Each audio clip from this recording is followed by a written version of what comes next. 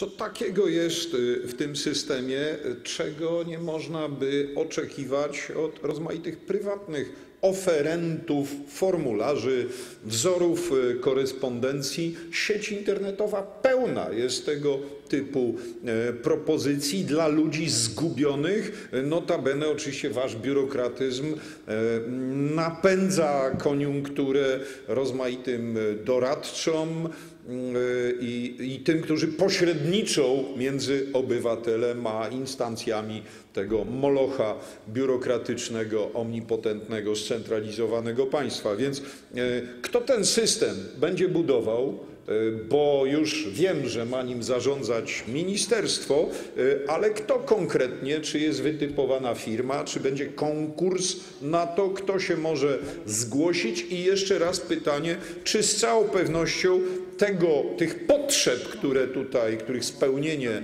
obiecujecie, nie można realizować, nie upaństwawiając tego Pan wszystkiego. poseł Mirosław Suchoń, Polska 2050.